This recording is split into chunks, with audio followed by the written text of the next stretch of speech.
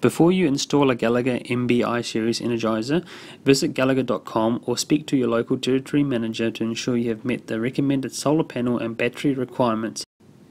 To successfully install a solar powered Gallagher MB iSeries, you will require a Gallagher 130 watt solar panel kit, which includes all mounting hardware, a deep cycle battery, your Gallagher MB iSeries energizer, Pre-thread two of the supplied stainless steel clamps through the top holes of the solar panel bracket. Then, using a second person, hold the solar panel in place over the wooden post and tighten the clamps to the point where the solar panel starts to support its own weight. At this stage, ensure your solar panel is facing the equator.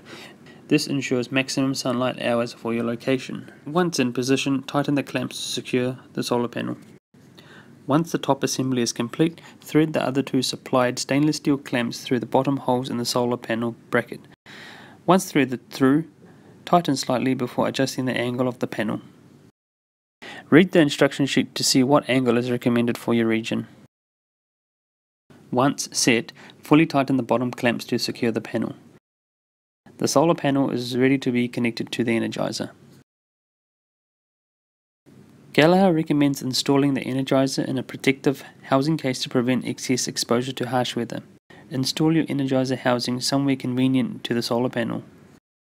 Grab your Energizer and connect the iSeries controller cable as well as the solar panel plugs straight into your MB iSeries Energizer. Then install the Energizer in your housing. Now you can install the iSeries controller. First, remove the black faceplate from the unit Using the supplied screws, secure the controller through the four mounting holes. You are now ready to connect the fence and earth lead out cables to the Energizer.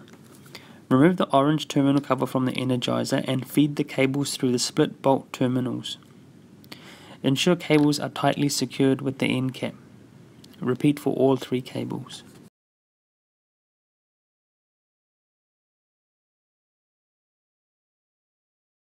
Now you're ready to connect the solar panel to the battery.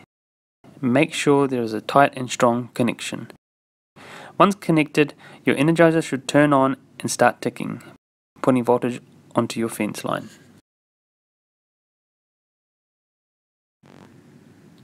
Place your battery in a protective case, for example, an esky or chilly bin.